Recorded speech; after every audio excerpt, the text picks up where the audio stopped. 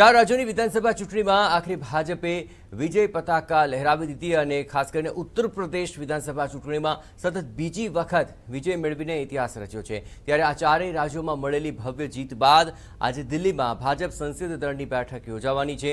Party પોતાના તમામ લોકસભા અને રાજ્યસભાના સાંસદોને હાજર રહેવા માટે આદેશ કર્યો છે. આ બેઠકમાં વડાપ્રધાન મોદી, ગૃહપ્રધાન અમિત શાહ, રાષ્ટ્રીય અધ્યક્ષ જેપી નડ્ડા સહિતના નેતાઓ પણ હાજર રહેશે. મળતી માહિતી પ્રમાણે સંસદીય દળની બેઠકમાં ચૂંટણી પરિણામની સમીક્ષા કરવામાં આવશે. આ ઉપરાંત આગામી સમય અન્ય રાજ્યોમાં યોજાનારી વિધાનસભા ચૂંટણીની રણનીતિ પણ ઘડવામાં આવશે.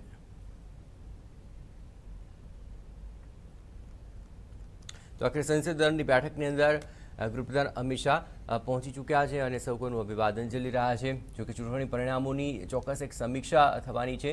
આખરે પીએમ નરેન્દ્ર મોદી, રાષ્ટ્રીય અધ્યક્ષ જેપી નડ્ડા આ તમામની ઉપસ્થિતિની અંદર આજની બેઠક અત્યંત મહત્વપૂર્ણ રહેશે. ચાર રાજ્યોમાં જે જીત મળી છે તે જીતની તો ચોક્કસપણે સમીક્ષા થશે.